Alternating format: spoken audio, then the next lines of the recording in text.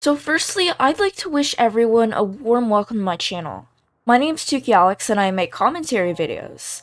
In today's video, we'll be talking about the theories going around that really had KreekCraft a scare when people tried to figure out his home address because he suggested that they went to the same school. Dream stans are one of the most hated figures in the community by some. Some say Stan is different from a fan, with a Stan is essentially a super fan of a celebrity. It's crazy what's been happening the past few days in the RTC. KreekCraft has even made himself lighthearted jokes about it, including a new video on the Kreeky channel. And KreekCraft himself tweeted this I was watching streams where Dream talks about his online high school. I'm like 95% sure Dream was taken and I went to the exact same online high school in Florida and had the exact same computer science teacher. Not only that, but if my math adds up here, there's a good chance, if I'm right, that Dream is also in my high school's yearbook. I'm gonna find it later sometime and look through it. If we were actually in the same class, I'm going to freak out. This is unfortunately where the chaos started. What happened to essentially? Did some of these crazy fans go too far? And what can we do about it and have them learn to respect boundaries? And how does Kreek feel? Let's get started. My name is Tanooki Alex, and this is our Roblox drama series, where we get right into the Roblox news, drama, tips and tricks, and more.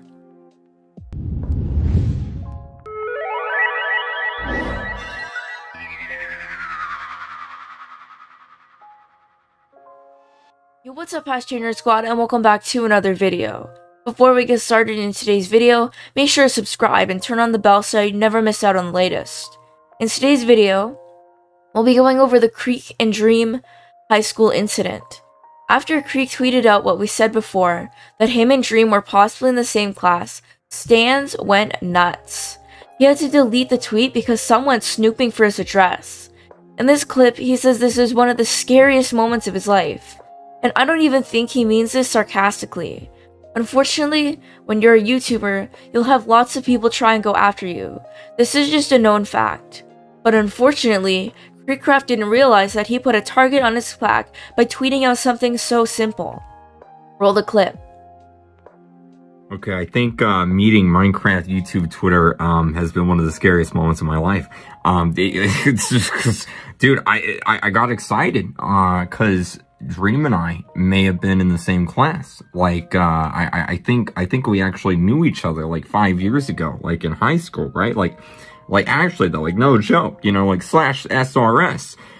And then I open up Twitter and I, I, I see like slash SRS alert, like, like the Minecraft YouTube Twitter stans, the, the Dream stans, they're like in red alert mode. They're like outside my house. They're pulling up in battle tanks to calling me like, like stalkers and crossing boundaries and searching for private information and all that. And I'm like, dude, all I said was I think we went to the same high school.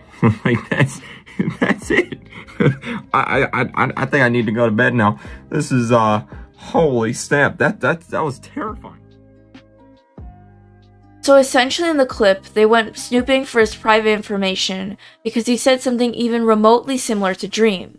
I think there's quite a major difference here than a normal fan and a creepy super fan, as I'd like to call it, because there really is a major difference here. No, seriously, I shouldn't be able to dictate what your life should and shouldn't do. But this seriously is not okay. Just because you are curious does not mean you should lead someone's privacy into danger. Some people just don't understand that these are public figures. They have two separate lives, and that their private lives are none of your business. I think we should really stress that this is not all fans. This is just a certain group that went absolutely crazy. After this, Kreek tweeted, Deleted all the tweets. Holy!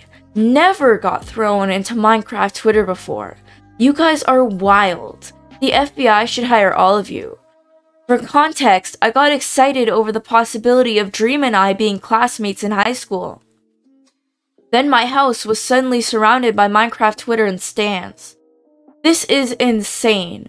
I don't see why more people aren't talking about this. Did anyone actually show up to his house? Probably some to take a quick glimpse but it's very likely that when Kreek talks about surrounding his house, that he means figuratively, as in Stan's trying to figure out his address. hence why he had to delete the tweets, because it was a big scare.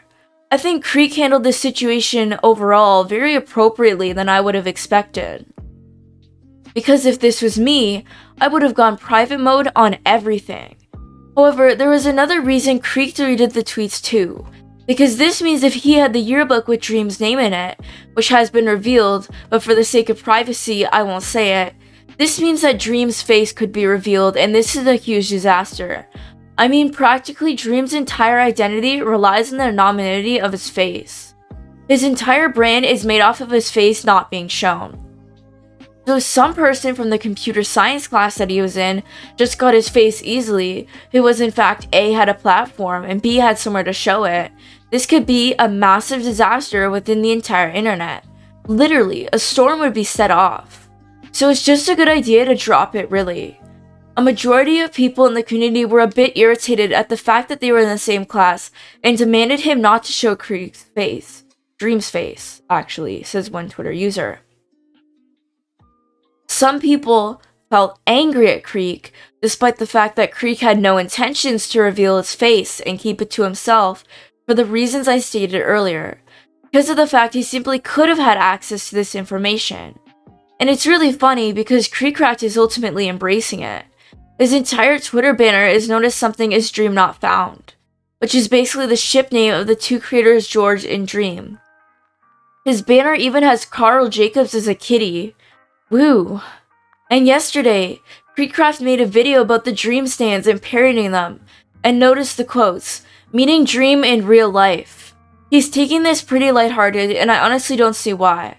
I would be scared for my life if anyone tried to show up to my house who I didn't know from a parasocial relationship and try to be like, hi. That's just weird. Even the thought of someone finding my address makes me pretty sick. So basically, KreekCraft made Dream Tweet, Dream Tweet had people going nuts, and much more. Thanks for watching, I'll see you in the next video.